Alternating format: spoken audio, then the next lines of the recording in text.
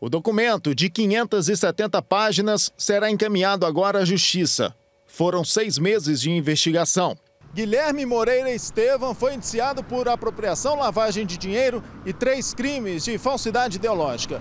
Durante as investigações, a polícia descobriu também a participação de outras duas pessoas: uma amiga de infância do Guilherme e o pai dele. O que chamou a atenção foi o fato dele ter registrado o veículo no nome de uma terceira pessoa, de uma amiga dele de infância chamada Natália, que reside inclusive em Valparaíso. E esse carro foi registrado em Brasília, no Detran de Brasília, no nome da Natália.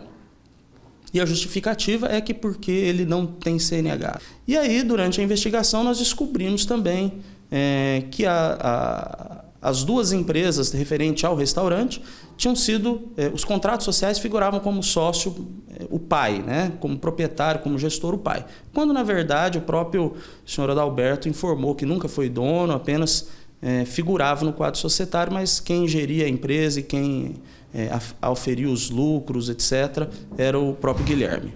Tudo começou depois de uma falha no sistema do banco. Da noite para o dia foram depositados 18 milhões de reais na conta da empresa de Guilherme. 17 minutos depois, ele já tinha feito cinco transferências, num total de 1 milhão 129 mil reais. 150 mil para a conta do pai, 150 mil para a conta da, da, própria empresa em outra instituição financeira, é, dois contratos de, da obra da construção do restaurante que deviam ser pagos em torno de 10 meses, ele resolveu quitar, então, e mais a aquisição do veículo. Né? Então, é, ele não tinha lastro financeiro para pagar essas, essa, essas dívidas num único dia. Né? Mas a partir do momento que percebeu o ingresso desse valor, se apropriou desse dinheiro e, e, e saiu é, fazendo essas transferências. O carro é esse Porsche, avaliado em 300 mil reais, que foi registrado no nome da amiga de Guilherme. Dias depois, ele fez o um empréstimo bancário e simulou a compra do carro. Segundo a polícia, uma forma de lavar o dinheiro ilícito. Abriu uma conta numa outra instituição financeira e simulou a aquisição do veículo da Natália.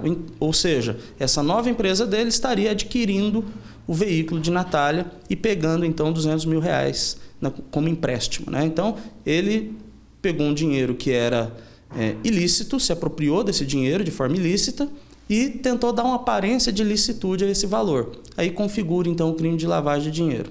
Dos 18 milhões, apenas a transferência de 280 mil reais para a compra do carro não foi bloqueada pelo banco. O veículo está apreendido em São Paulo. O advogado de Guilherme conta que o dinheiro só não foi devolvido ainda porque o banco quer receber juros.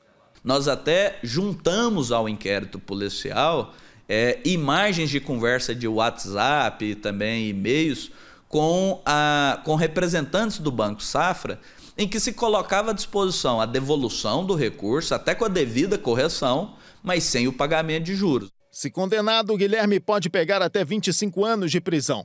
A defesa está tranquila e garante que não houve crime algum.